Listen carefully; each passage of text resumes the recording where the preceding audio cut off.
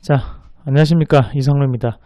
자, 오늘 재테크 강의 딱 5분만, 어, 첫 번째 시간으로 어, 우리가 살아가면서 꼭 알아야 되는 재테크 상식 딱 5분 동안만 하루에 한 개씩 말씀을 드리도록 하겠습니다. 오늘 첫 번째 시간으로 단리와 복리, 복리와 단리에 대해서 말씀을 드리고자 합니다.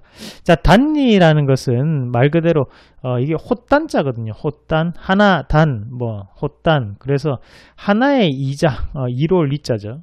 그리고 복리 같은 경우는 겹칠 복, 어, 겹칠 부 이렇게 보시면 됩니다. 그래서 겹치는 이자, 어, 그렇게 생각을 하시면 되고 자 이게 1년차 이자입니다. 1년차 보면 이제 원금의 이자 그리고 두 번째도 원금의 이자 세 번째도 원금의 이자 개념이거든요.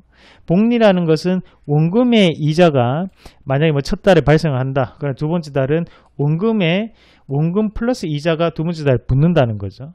어, 그리고 세 번째 달도 원금의 이자 플러스 원금의 이자 원금의 이자가 계속적으로 붙는 개념이라고 생각하시면 됩니다. 그래서 어, 만약 우리가 적금이나 예금을 예를 많이 드는데 적금 같은 경우에 첫 번째 달에도 원금의 이자가 붙고 두 번째 달에도 원금의 이자가 붙는 거죠. 그러면 그게 복리, 월복리에 대한 개념이 된다면 원금의 이자가 플러스가 되고 그 두 번째 달에는 원금이 또 따로 있고 거기 원금의 이자가 플러스가 되니까 요게 좀더 어, 금액적으로 커진다 어, 그런 의미로 해석을 하시면 되겠습니다. 어, 요렇게 이론적인 부분이 사실 상당히 헷갈리는데 우리가 실질적으로 식으로 만들어서 제가 엑셀 파일로 만들어 봤는데 이걸 보면서 추가적으로 설명을 좀 드리도록 하겠습니다. 자, 한번 같이 보시면 이쪽이 이제 복리, 이쪽이 어 이제 단리라고 보시면 되는데요. 만약에 10년 동안 우리가 보험을 많이 비교를 하는데 보험과 어 그리고 여기는 이제 은행, 예금이라고 생각하시면 됩니다.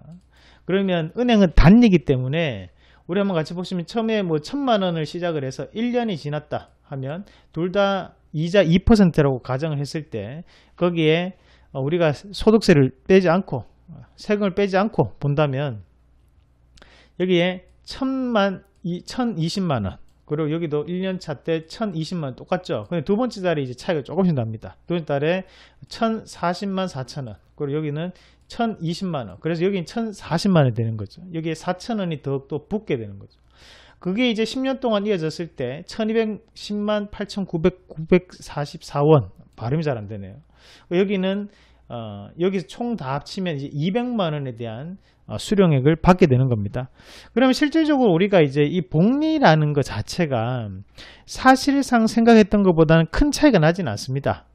어, 보험은 연복리이기 때문에 우리가 실질적으로 보험이 엄청나게 큰 돈이 될 것이다 라고 생각을 하지만 여기에 보시 10년이 지나더라도 금액 차이는 약 18만 9천 원이거든요. 그래서 여기에 대해서 우리가 보험은 연복리고 은행은 단리라는 그리고 주식은 일복리라는 그 개념만 명확하게 알고 있 는다면 어, 우리가 금융상품에 대해서 헷갈리는 부분은 없을 거라고 말씀드릴 수 있겠습니다. 그만큼 단리와 복리 어, 이 시기라는 것 자체 그리고 말이 상당히 어려운 거지 거기 안에서 우리가 실질적으로 계산해 보면 금액적인 부분에서는 큰 차이가 나지 않고 그리고 또 쉽게 알 수 있다는 부분까지 말씀을 드리도록 하겠습니다.